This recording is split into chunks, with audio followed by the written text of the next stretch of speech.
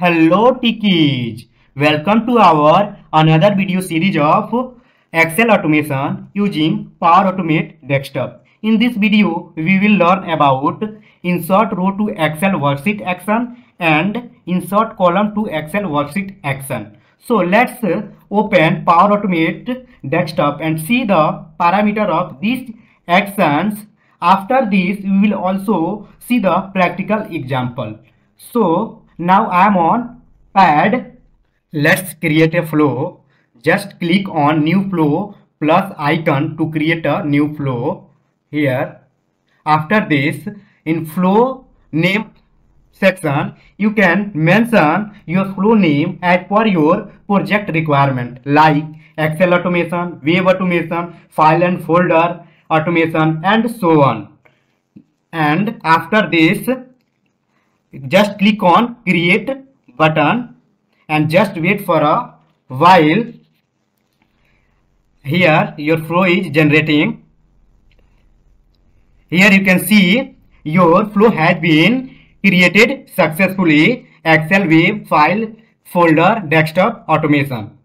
Let me explain about all parameter of this action so our first action is insert row to Excel worksheet. Here you can just type insert to Excel worksheet. You can see here in advanced section you can find your actions. So I have already drag and drop here. Let's see the parameter. Here I am mentioning in row index 7 because I want to insert row 7 in this Excel spreadsheet and so our first uh, action is completed. Insert row to excel worksheet.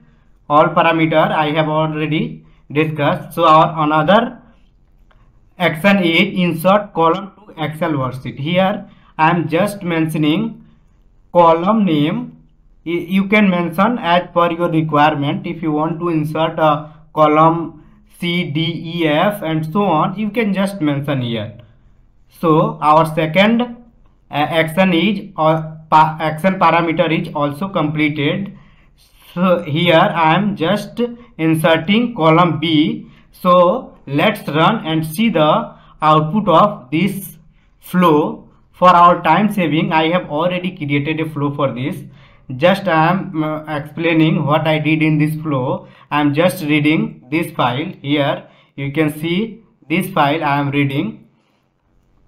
And after this I am using insert row to Excel worksheet insert column to Excel worksheet action and after close Excel I am just doing one thing.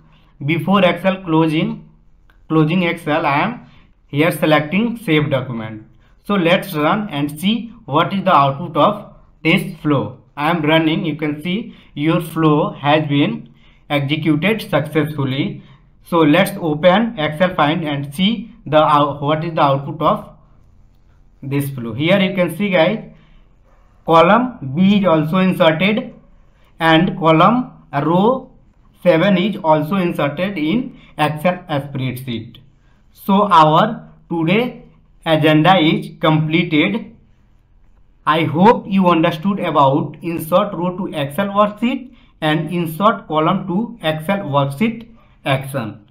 So thank you for watching this video guys. We will meet in a next video.